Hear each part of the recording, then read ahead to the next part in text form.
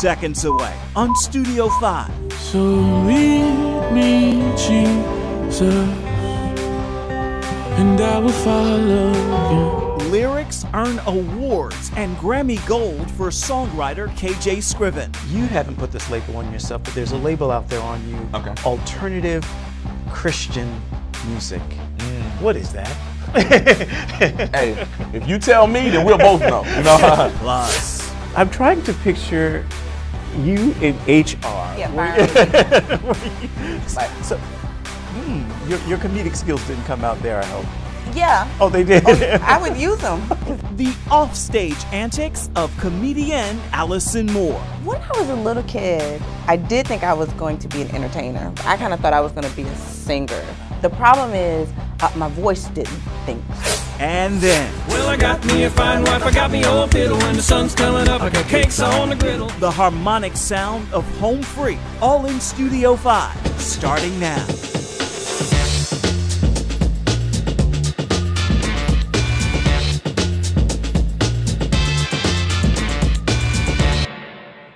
Welcome to Studio 5. We have a great show for you, so let's begin like we do every week, counting down the top five stories in uplifting entertainment news. Here's the first two. At number 5, The coolest part of the night is that every single one of you are crowned the king or the queen of the prom. But let me tell you why you're the king or the queen. It's because that's how God looks at you every single day of your life. Tim Tebow's annual Night to Shine prom for children with special needs inspires the newest release from country music's Rascal Flatts. So today we came in and we put the superstars on our new song that's on our album called Night to Shine. We had some kids from the Kennedy Center come in, some special needs kids, and it was awesome. They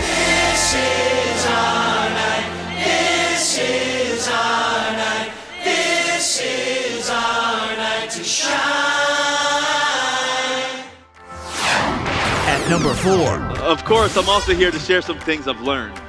Things like if you're dating a woman that's way out of your league, ask her to marry you.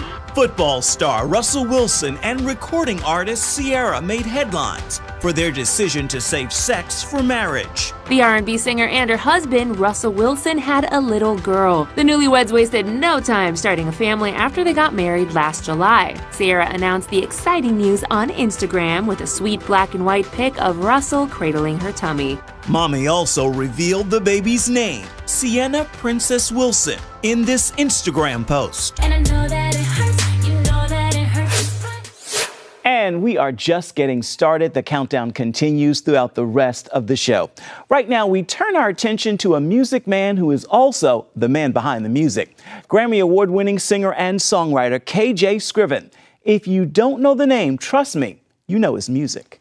I'm so lost without you. I've got no cause without you. Keith Scriven Jr., known to most as simply KJ, is a master at crafting the perfect lyric. That songwriting talent earned a Grammy I'm so excited. I'm bringing this home. for Scriven and gospel singer Tye Tribbett. Tell me what can I do? Cause I can't live without you. I can't live without you. The song is titled What Can I Do? And the way that kind of happened was I put it on a project of mine, and, and I was um, actually singing the song. I was opening up for Tye at an event, and uh, he had heard about me through the grapevine. He says, "Hey, I'm gonna go up in the top, and I'm gonna go listen to you." And then I sang the song at the end, and uh, I had a bunch of technical difficulties, and so I was really frustrated, and it was a bunch. My monitor was really bad, and so I was in the back talking to my manager, and Tye comes like running around the back, like, "Dude." Forget everything you're talking about right now. That song was amazing. Like I'm still in that song, and um and I and I remember being like, what? what? Oh, yeah, sure, take it. It's yours. So tell me what can I do? Hey, Cause I can't live without you. I can't live without you. Now, the song I've been listening to today, um, in advance of sitting down with you, is Superman. Ah. Well, I'm trying the best I can. but I can't quite be Superman. And honestly, I have tried my hand at being indestructible. So I tested my strength in song. That I'm really not that strong at all. What's the story behind that song? Yeah, man. Yeah. So um, I remember being in a in a time in my life where there was a lot of transition. I wasn't sure um, where I was going next. Um, just in a valley of transition, didn't know where I was going to move, relocating, and trying to figure a bunch of stuff out. And at the same time, um, trying to be there for everybody and um, as well. So it was just a lot going on. I remember um, being in my car. I was driving home. It was going to be a couple hour drive. Um, and I remember just kind of crying um, and and and just frust- in a frustrated way, just kind of hitting my steering wheel and say like, "Dang man, I'm not Mr. Superman or something. I can't, I can't, you know, be everything for everybody and and just, you know, I can't be Superman." And it was like, hmm. And then on that trip, on that road, like on that road trip, I wrote the entire song like in my car on the way, and and uh, and that's kind of how, you know, that's kind of how it started. Like we don't have to, um, we don't have to be strong. God is not asking us to be um, strong, but He's asking us um, to just depend on Him, and, and His strength is made perfect in our weakness. You haven't put this label on yourself, but there's a label out there on you. Okay. Alternative Christian music. What is that? hey, if you tell me, then we'll both know. You know, no, I think I think it's kind of because I'm in this weird, um, I'm in this this weird place of um, I'm not gospel enough for gospel and um, not CCM enough for CCM. Um, uh, too Christian for uh, mainstream. you know what I mean? Um, and so uh, I'm just like alternative and somewhere in the middle. Uh, and so and that's fine with me. There's something you say about what music does in terms of preparing people to receive the word, especially you being a worship leader. What's what's the job of music in terms of planting that seed? I don't recall verbatim what it is, but it really touched me. What is that message there? Yeah, so it's um, that the music softens the ground. It almost like it tills the ground, like it breaks the ground up of people's hearts, so that the seed can be planted. Um, and then once the seed is planted, then fruit can be produced. But if if if we have like music, if we have a bunch of broken up ground with like no seed being planted, then we're not producing anything.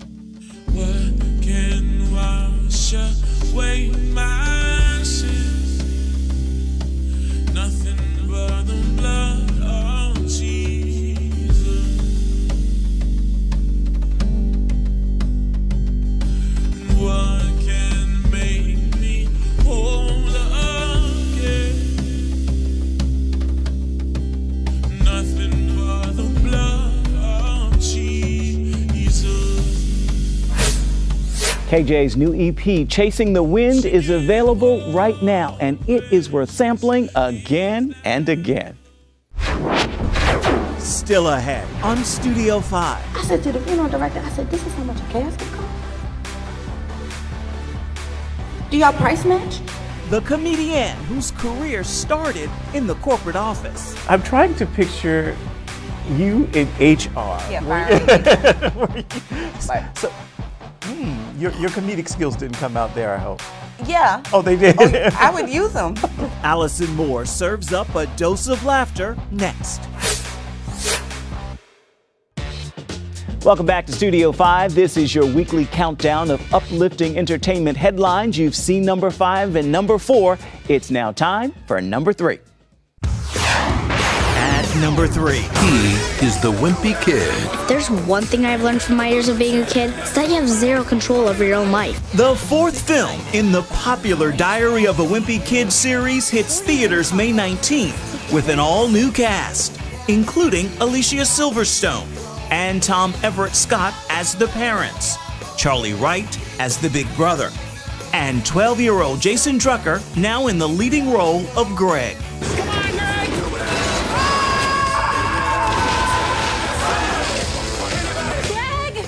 Well, you said you wanted to get the boat on the water this summer.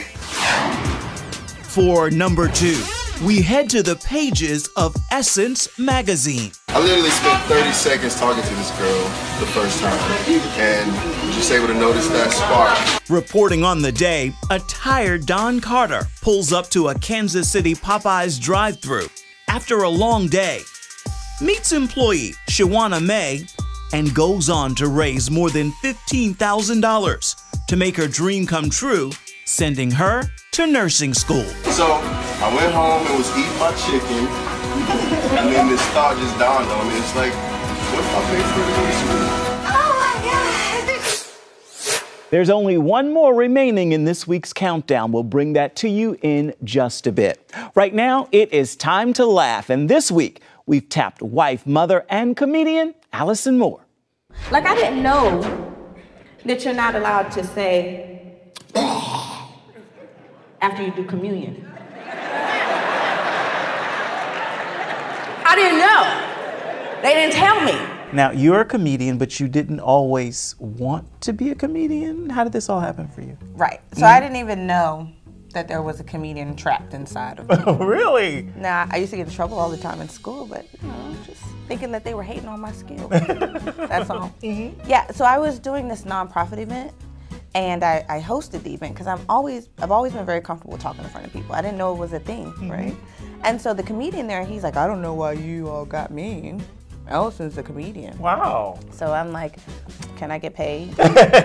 when we grew up, we didn't watch comedy in our house. So, you know, like some of the comedians were just way too much for Gotcha. mom. So she's like, I can imagine. What was Allison's dream for Allison? What did you think you were going to do? Well, when I was a little kid, I did think I was going to be an entertainer. But I kind of thought I was going to be a singer. The problem is, uh, my voice didn't think so. Oh, I okay. didn't catch up with the dream.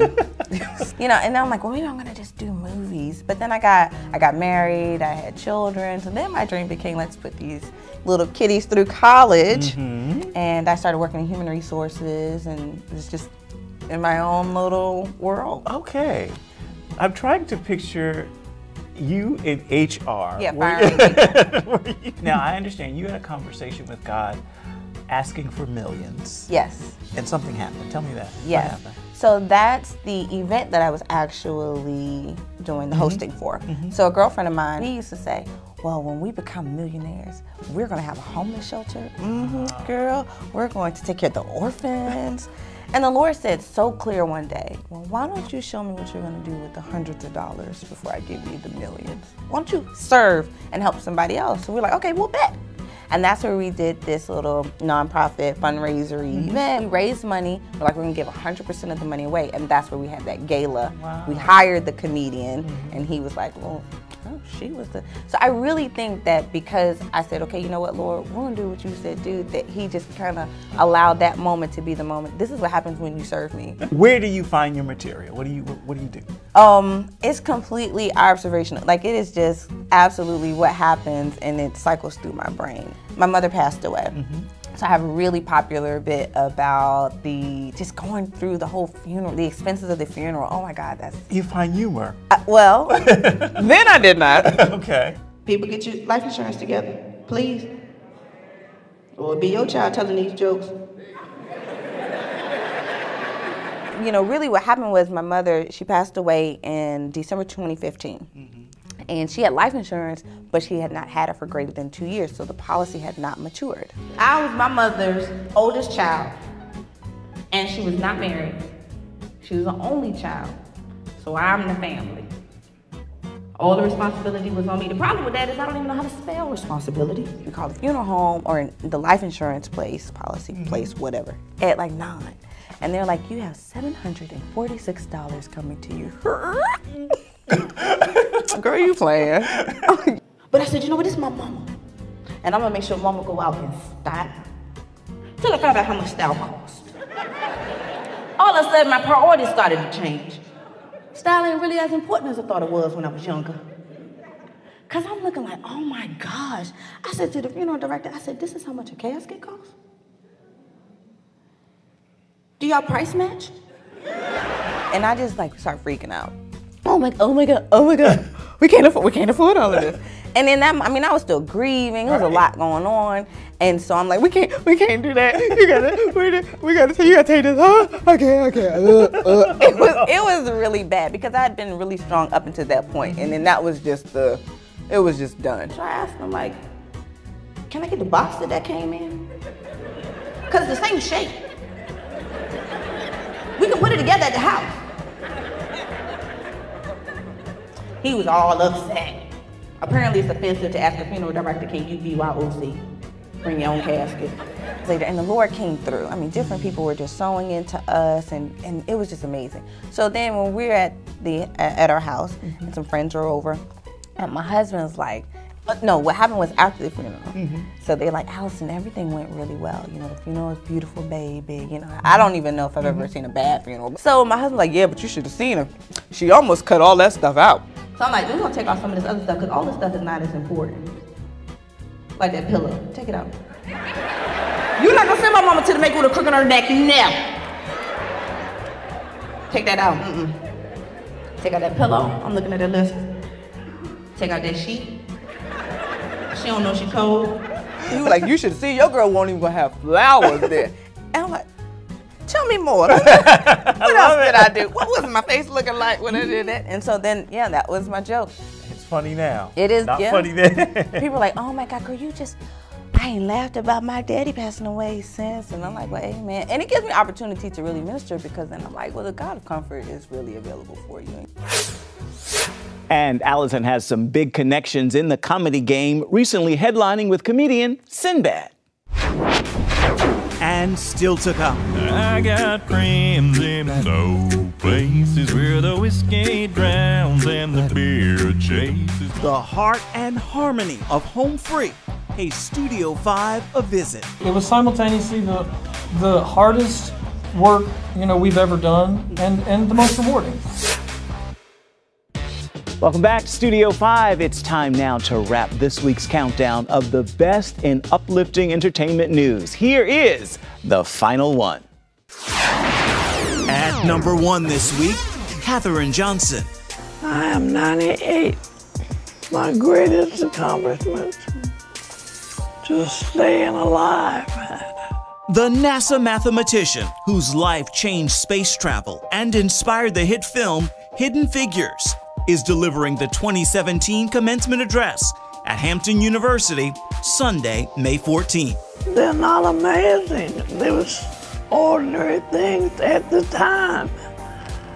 And I'd do them over. If I had to do over. I would. And that's a wrap for this week's countdown, but we've got lots more in the show. Right now, we turn to Home Free.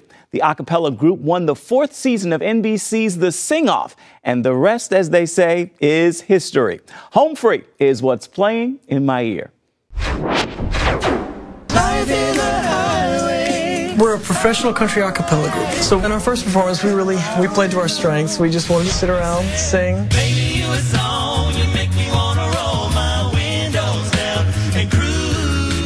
In this next performance, Home Free's gonna kick it up a notch. We're gonna stand up in our boots and really give it to you. So let's start with the name Home Free. Where'd it come from? Uh, when the group first started 16 years ago, uh, one of the group's members' grandfathers sort of gave us some startup money to buy equipment and such.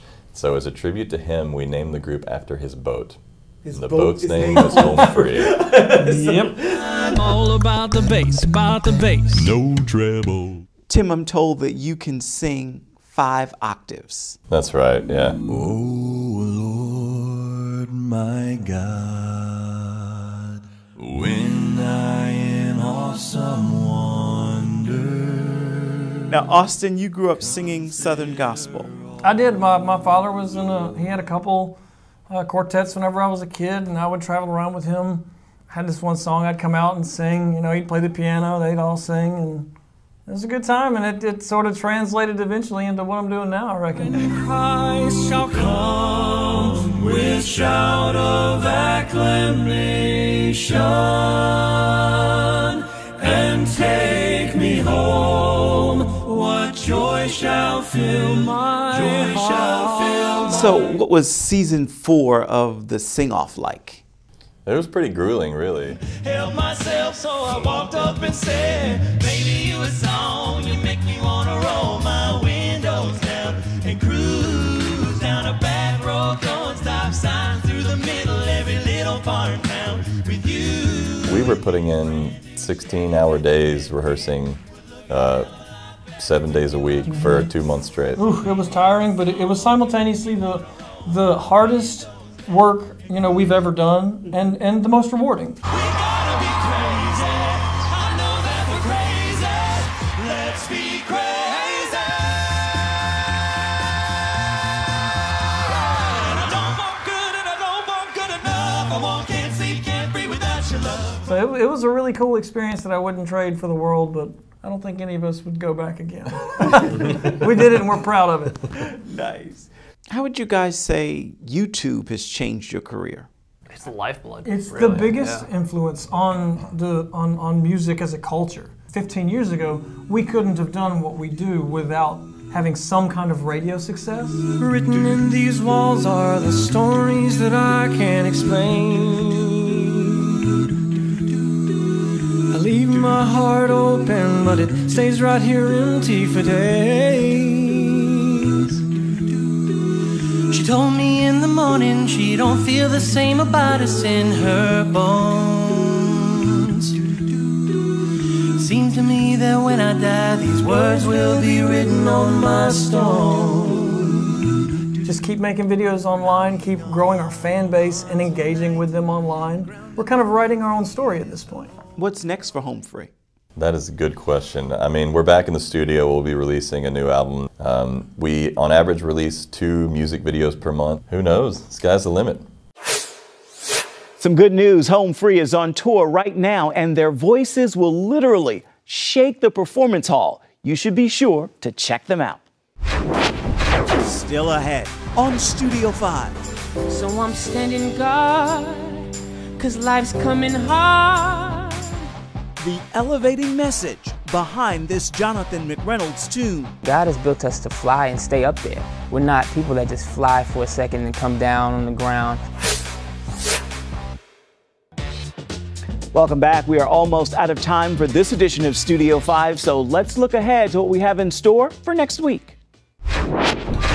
This is a massive celebration of the power of the local church. What I love about this tour is it really celebrates the local church.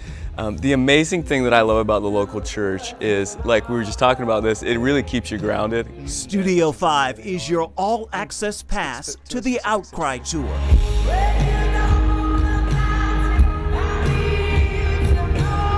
Hear the music and the message behind this growing movement. That's just one story from next week's rundown. As for this show, I'm giving the final word to singer and songwriter Jonathan McReynolds.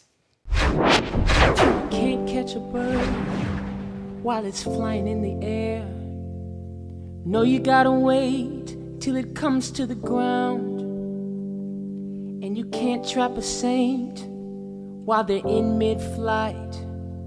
No, the devil's gotta wait till we come down. So I'll stay high, coming down for no reason. I'll be reading my word. I ain't coming down for no Satan. I'll be praying to my Lord. Sometimes we have to escape temptation or escape the storms of life by simply flying over them, staying high. Um, you know, I think that what the Bible says, mount up on wings like an eagle. And so that's even one of the ad libs. Just stay high. Because I think at some point we go to church and we get kind of like a drug. It's like, oh, okay, that was great word. That was great music. And I jumped around and I ran around. and by the time we get to Tuesday, the high has worn off. And I think we, we really need God to help us maintain, for lack of better words, and in context, high. um, because, uh, you know, it's certainly way more to Christianity than the Sunday service. Just stay.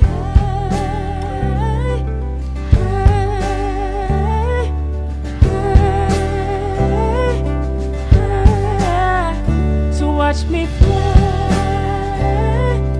fly.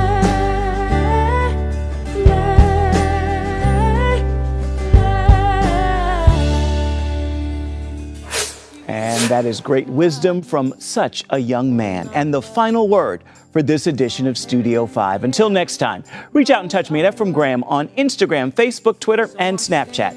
And then you be sure to come on back and see where Studio 5 takes you next week. Bye bye, everybody.